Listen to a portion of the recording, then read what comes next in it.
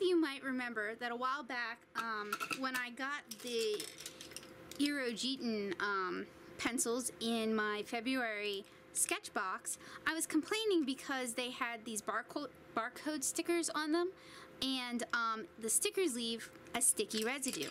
Well, uh, you can get rid of that with just a little bit of isopropyl alcohol, and I bet most of you guys have that in your studio already, and you just carefully scrub it off. So, um, I thought you guys might find that useful. I thought you might find it helpful. I hope you did. I'm Becca Hillburn. Have a good day, guys. Bye.